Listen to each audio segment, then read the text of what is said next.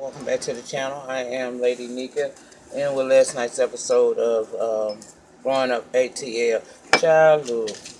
I'm gonna try to do this a little bit different. I mean, I'm getting views and whatnot on on the videos, but at the end of the day, I'm gonna try to remember that this is a girl. This is somebody egg child, and not give her as much grief as I normally do. Um, I had people really, some people was upset with me. Some put it in the comment section of the videos, and some people decided they were going to hit me up. Uh, which I appreciate, you know, because you could have put that shit in my comment section and, and then you'd have got blocked and banned and, and then you'd have been cussed out and all that other stuff. However, you, you came to me, you know, um, privately and stated that you felt like I was a little bit too harsh in my, um, in my depiction of uh, Reginae. I want to say this. Let me tell you something. The only I, I'm a the way I do my videos here on YouTube is I call the situation down the middle. I call it exactly how I see it. In that moment of what I have been presented of Reginae, she is not a respectful young person. She is very ugly and she can be downright nasty at times. I am not going to give her a pass because she's a child. Because truth be told, a girl just turned 18, graduated from high school, and she stayed dipping in ground floor business. So when you do that, you, you, you, what you say to me is that you old enough to be able to take whatever backlash that come up against you. But for the people who felt like I was a little bit harsh on her, I'm going to tone it down, but I'm still going to call it like it is. You know what I'm saying? Because I don't care who child she is. If this was my child, she wouldn't be on national TV portraying me like this. Now, we open back up with Dale basically trying to talk to Brandon uh, about he let Reginae get up under his skin. Okay, they got up under each other's skin. And that's not smart for business or personal. Now, he felt like she was coming at him. He, he told her he wanted his mom and not the businesswoman. However, I think she tied both of those situations into one when she was explaining to him the business side, and it can be pretty fickle at times. You know, she also was saying, you know, when you do this kind of stuff, this opens the door for the family members to be brought in because you brought up her father and you brought up the Black Lives Matter movement. And all of that is a sensitive subject to Reginae. Okay? I understand that she is a child and she popped off but you have to think about the long-term effects. First of all, you're in this business as a vocal coach. You cannot pay attention to somebody that ain't on your level, okay? He got mad and went so far as to tell her he wasn't going to be talked to in that way. And Deb said, you know what? She talks to the hand. And she wanted her mic off because he didn't want to listen to what she was saying. I think Deb was trying to explain that he shouldn't have given Reginae that much power over him. You know. Now, let's talk about Bow Wow for a minute. Uh, he told Brandon that kids today don't know the business well. And they step out, they step out of line all the time, you know and say stuff, but later when you clap back at them, they tend to run to their parents when they confronted with the real.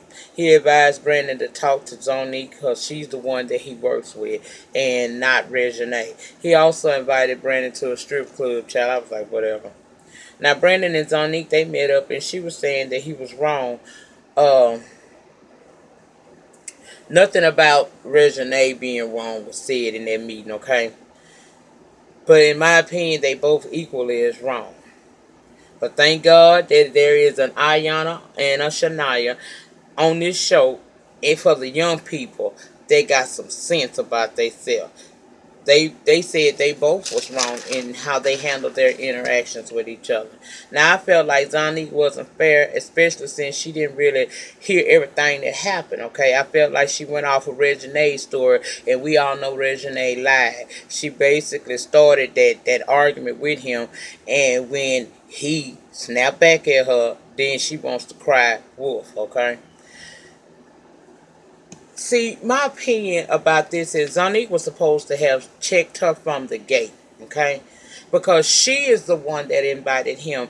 And we don't know, you know, what their conversation was when he received that invite. She could have told him to come down there because she wanted. And we later on find that he is way more involved, apparently, in her career uh, more than just being her vocal coach. So when he came in and he began to critique, it was disrespectful for Reginae to say, "Who are you?" Because apparently, just because you don't know him, but he's worked with some people from what I gathered from this show. And in order for him to work for them people, apparently somebody thought that he was going, you know, he knew what he was doing. So for her to ask, who are you, that was disrespectful in itself. She got this thing where she don't seem to realize that when, even if when you saying that, it's a double-edged sword, girl, because you sitting there saying, who is he, and calling him a fan and all that. So you downplaying a fan. If it wasn't for the fans, your daddy would not be where he is today. He It wasn't him by himself and him just rapping and made him famous and put money in his pocket so that he could dote on you and make you the spoiled little brat that you are right now. It's the people who respected him enough and cared enough about his craft to invest in him. And investment, I mean, they they sit their ass up and they go buy his music, okay? And they go to his concert. So simmer down, little girl, when it comes to stuff like that because you did wrong, okay? So, uh, like I said, she was wrong for doing that, okay? Zonnique needs to take a stand. She too damn meek. I, I don't understand. Now, we find out in this episode that Ayana is a member of the LBGTQ community. We find out that she's got this girlfriend. She's from New York. And if you ask me, they ain't got no real issues between them. I think all of this, she ain't answering my phone call. She ain't answering no texts. was just a clever way that WeTV found to introduce two things. This girl is gay and that the fact that she, you know, her girlfriend was to come on. Now, Shaniah and Ayana was together talking about the uh, proposing the idea for a girls' night out, and Ayana really not wanting to go because she see she don't want no issues with Reginae. Zonnique and Reginae both already act like Ayana tried it, and she did. She told her cousin Brandon to chill because she didn't want to get shit to get off out of hand with them. Okay, Reginae was really uh, doing too much, if you ask me. Okay. I noticed that some, not all of this cast seem to have selective memory because Zonnique and Re Reginae claims about what went down on that uh in that last episode. It ain't it ain't quite right. It's a little distorted. but Ayana, she's calling it down the middle. Middle.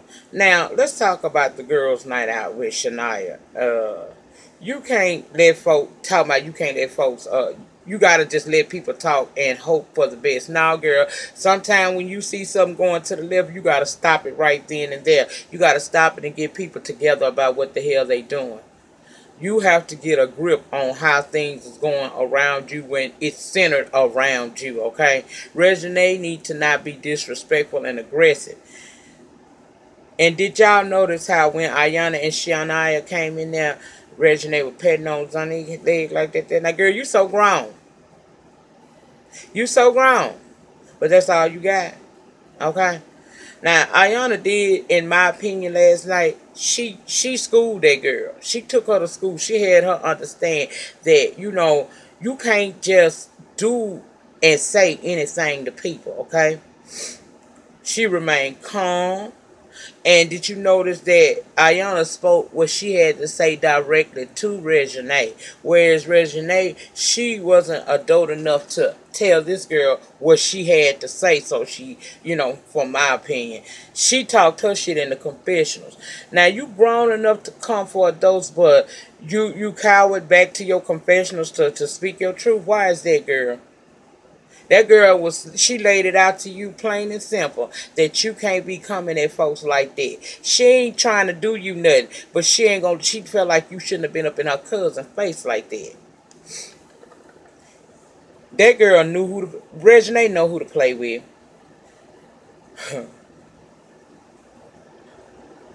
she only thing she really said in that whole little time they was talking was that all she did was ask who he was. Girl, that was not your business to ask him who he was. And Ayana told her, don't walk up on her cousin like that. In fact, she told her girl, in the way the world works today, you might not want to walk up on no man like that because they not to, all everybody ain't to just be like, okay, that's Wayne little daughter. Now, you need to stop that before you wind up getting hurt, okay? Reginae need to slow her roll because she 18 now. That's another reason why. Now, you can't, you know, to many real adults, that ain't considered to be an adult. But girl, you are considered an adult. Your ass can vote, you can die for your country, and you can buy cigarettes. You grown, okay? So you need to realize basically what Ayana was telling her in that moment is look, loose lips sink ships. You need to you need to walk like pimping. You can't come for everybody and expect them to tower down and allow you to say and do whatever it is you want to do to them because you Lil Wayne's daughter because you ain't famous, girl. Your daddy is the one that's famous. Let's just put it out there, okay? Now, Tiny called Brandon to talk about the situation, and he, you know, basically, they were trying to say that Brandon came originally wrong, and she had to clap back.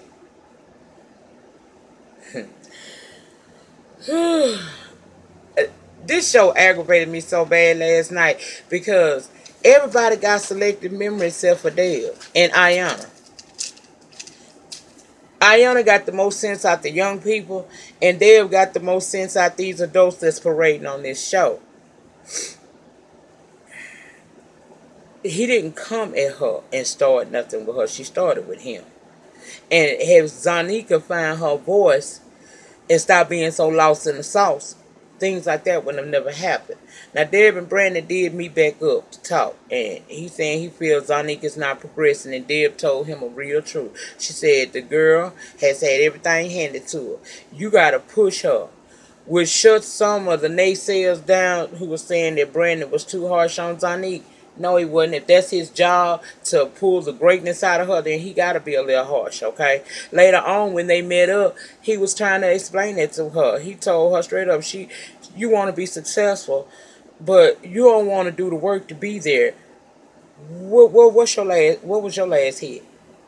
Now I think that he could have because he was he was steady hitting her with questions. He was he was he was touching her. He was touching and agreeing with her spirit so much so that she went to crying.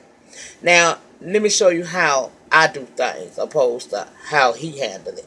Once she began to cry, a true breakthrough could have happened in that moment with Reginae. I mean, with Zani. She's frustrated. That girl being prep, been being prepped to be in this business since she was eight years old, and now she ain't got no team. We found out in this scene there is no team. Tina, her manager, and she got Brandon.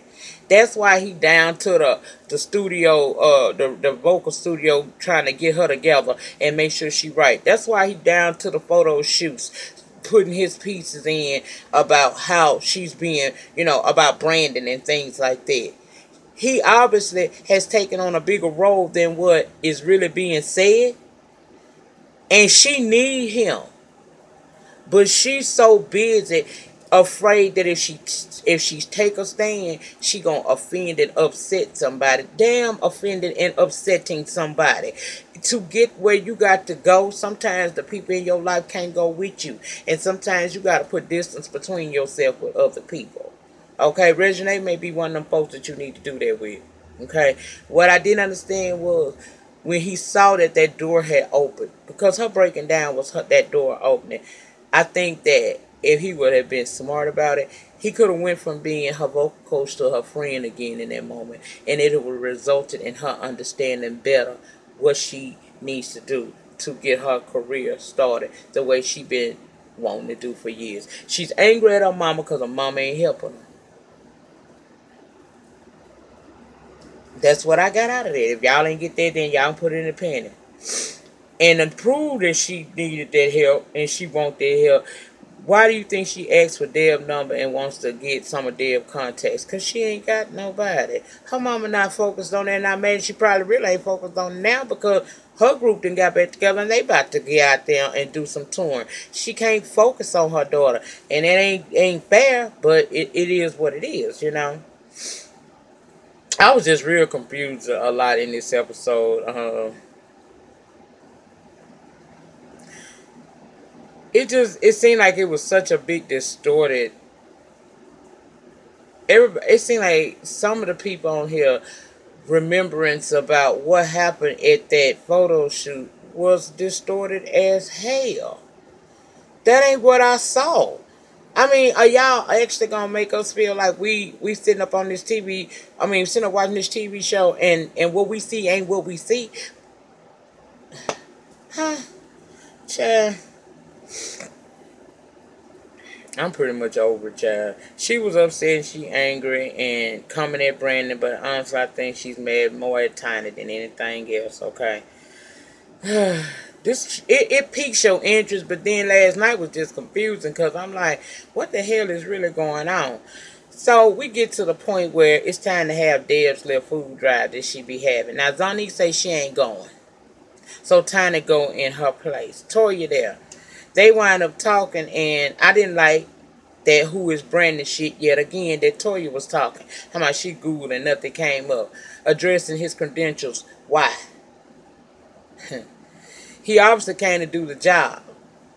Okay? Tiny told her, told Tiny told Toya that she thinks they both just went too far and got on each other's skin and now they need to get together and work this shit out. Child. Then Deb came over uh, to talk to Toya. And Toya says she know her child after Deb started saying what she's saying. And one thing, let me tell you what I did see. Deb went back and looked at the footage. Tiny didn't bother to do that, and Toya didn't bother to do that because when Deb started telling her what she saw, and I know she did it because she said if you go back, so that means she looked at that, okay? I was like, if you knew your, if you gonna sit here and say, well, I know my child, then that means that you know your child sometimes embellishes. So when she gave you the story, why didn't you be smart enough to go do what Deb did? It just didn't make no sense. Why would you be, I mean, the girl was putting 20 on 10 for no damn reason. Talking about her, she, she know how her child can be. I was done. Deb told her, uh, if she looked back at it, she was gonna see that uh she was going on brand going in on Brandon for a minute. That statement, like I said, did me to believe that Deb went back and looked at the footage, and all Toya could say was she did. then Toy Tiny who I felt like really shouldn't have had nothing to do with this because one day one of your children really involved in that, that argument part of it. She gonna jump in and now you got Deb and you got Toya and Tiny both talking to Deb, just one fucking person, when she's trying to address them individually. And Deb wind up asking her to hold up a minute. And that's when Toya wants to pop off talk about uh that's my sister. Uh I, I, she can talk. I, I know who she is. I don't know who you is. Well, girl, that's the purpose of sitting there with that grown ass woman, as a grown ass woman yourself, and talking to her. Because if you talk to her, you'll realize who she is and how she get out. It was no reason for Tiny to insert herself into that conversation. She should have shut up and allowed y'all to talk through this. Because really, it's your, it's her daughter and her son that had the issue. Your daughter was just like there, but it wasn't about her. And I think that Toy, Tiny should have stayed her ass out of it, okay? If she hadn't, if she would have stayed out of it, uh, Deb wouldn't have gathered her motherfucking ass. Uh, I'm not to be up, I'm not about to get up under you, Toya. And Brandon and Ayana was over there on the side. They seen it was about to get heated, so they stayed back. The same thing that Tiny should have done. Just shut up. You inserted yourself. And that's the reason why shit went like it did. Now, next week, it's going to pick back up at them at that table talking and stuff. I forgot to tell y'all, uh, Bow Wow, I left his ass out because I'm over him too. But he didn't do shit. He went to visit this strip club. He wound up getting drunk, showed up two hours late to the studio, and forgot his damn lyrics. And even after Jermaine had told him, you, you need to know your lyrics. Child, that just was a lot that was just a whole lot. I mean, you know, clearly he ain't serious about doing nothing, and I think he know his time has, you know, his his time has ended. He needs to let go, let go, and be all right with that. Regina they need to grow the fuck up and be guided in the way that's gonna be helpful to her as a young woman. I mean, it should have been happened, but her mom and daddy better get a grip on her because it's gonna come a day and a time where she gonna pop off at the wrong person and they're not gonna give two damns about Lil Wayne daughter. They gonna give her the business and it's is what it is and you just gonna have to sit back and take that. I don't get it. I, I really don't get it. I don't, y'all. And Toya, if you're going to sit down with Miss Deb, you need to be willing to listen and not be heard so quickly, okay? Sometimes you just got to calm down. And Tiny needed to have stayed the fuck out of there. I hope when we watch it next week that she don't continue to talk because Toya and and Deb was on the same page. They were starting to work that mess out. When Toya, I mean Tiny decided to put her butt in the middle of it, and why you talking, girl? Ain't none of y'all passing the information on like it really went. Bow Wow gave a wrong depiction of what really went down. Tiny is giving a wrong depiction of what went down. Reginae, no, she lying. She giving a wrong depiction.